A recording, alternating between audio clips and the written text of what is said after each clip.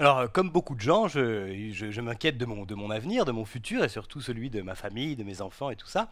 Alors, je suis allé à la banque pour euh, me renseigner un peu sur les différentes possibilités d'épargner. Et en fait, ce qu'on m'a proposé, c'est d'ouvrir une assurance vie, une police d'assurance vie. Et le système, c'est que je paye un- une certaine cotisation par an, donc 500 euros par an. Et si je meurs à un moment, eh bien, euh, ma famille perçoit une somme d'un million d'euros. C'est une belle somme. Et euh, en fait, il y, a deux il y a deux possibilités. Soit je souscris à cette assurance vie euh, pour, toute ma vie, et tous les ans je paye, je paye une certaine somme, et, si euh, par malchance je, viens à mourir, eh bien ma famille percevra la somme d'un million d'euros. Et puis l'autre possibilité, c'est de souscrire à cette police d'assurance vie seulement sur 20 ans, seulement sur les 20 prochaines années. Alors à ce moment-là, je paierai une somme de 500 euros par an pendant 20 ans, si je meurs pendant ces 20 ans, eh bien, euh, ma famille percevra le, million d'euros. Mais si je ne meurs pas, eh bien, à ce moment-là, la 21e année, euh, si je veux continuer, il faudra que je souscrive à une autre police d'assurance vie. Et dans ce cas-là, comme je serai plus âgé, euh, ça, me coûtera certainement plus cher. Voilà. Enfin, moi, pour l'instant, ce qui m'intéresse, c'est uniquement une police d'assurance vie sur 20 ans. hein. Et en fait, la question que je vais me poser, qui est, que je trouve assez intéressante, c'est quand on se met à la place de l'assureur, qui nous propose euh, ces termes-là, euh, quelle est, selon lui, la probabilité que je vienne à mourir dans les 20 ans, dans les 20 prochaines années? Bon, c'est pas très gai comme sujet, effectivement, mais je vais me poser cette question-là. Quelle est la probabilité de mourir dans les 20 prochaines années? Dans les 20 20 ans. Voilà. Donc plus exactement, ce qu'on va essayer de voir, c'est d'évaluer, de, trouver à combien l'assureur évalue mes chances de mourir dans les 20 prochaines années.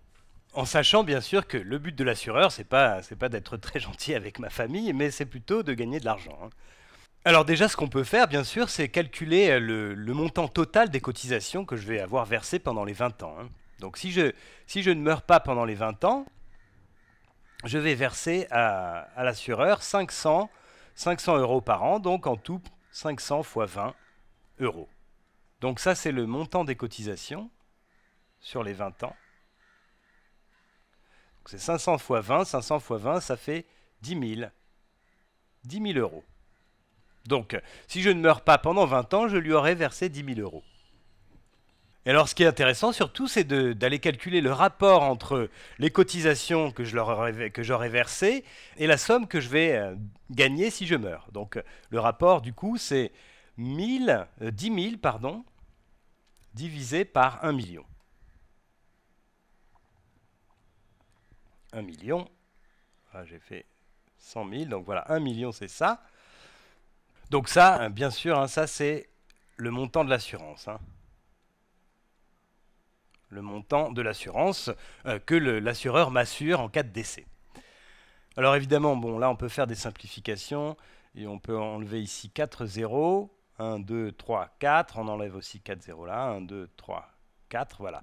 Et donc finalement, ce rapport-là, c'est de 1 sur 100. Le rapport entre les cotisations que j'aurais versées et le montant de l'assurance, c'est 1 sur 100. Donc ça, ça veut dire qu'ils vont percevoir 1, euro sur 100 euros euh, qu'ils seront susceptibles de verser. hein. Alors on va le voir différemment. Euh, on va supposer qu'il y a 100, 100 personnes comme moi, 100 personnes du même type que moi, qui vont souscrire à cette euh, police d'assurance vie. Donc dans ce cas-là, ils vont percevoir, le, montant qu'ils vont percevoir par les cotisations, c'est 100 euros. hein. 100 euros en cotisation. 100 euros cotisation, ça c'est dans le cas où il y a 100 personnes comme moi qui euh, souscrivent à cette assurance. Donc ça, ça veut dire que pour qu'ils gagnent de l'argent, il faut qu'il y ait au plus une personne qui meurt dans les 20 ans. hein. Donc ça veut dire que le seuil de rentabilité pour notre assureur, c'est pas très joli comme euh, façon de parler pour ce genre de, de problématique, mais le seuil de rentabilité pour l'assureur, c'est qu'il faut qu'au plus une personne, une des 100 personnes, meure pendant les, 100 pendant les 20 ans. Au plus une personne décède.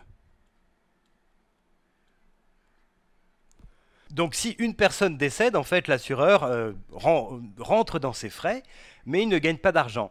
Ce qui veut dire que pour lui, la probabilité que je meure dans les 20 ans, elle est inférieure, elle est forcément inférieure ou égale disons, inférieur strictement, si c'était, si, s'ils avaient supposé que la probabilité que je meure dans les 20 ans était égale à 1 sur 100, eh bien, ils seraient au mieux au seuil, de, au seuil de rentabilité, donc ils ne gagneraient pas d'argent, mais juste rentraient dans leurs frais.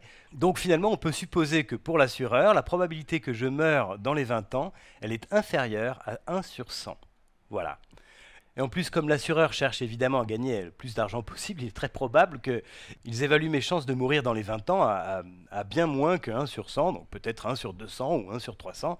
Enfin voilà, donc ça me laisse encore pas mal de temps.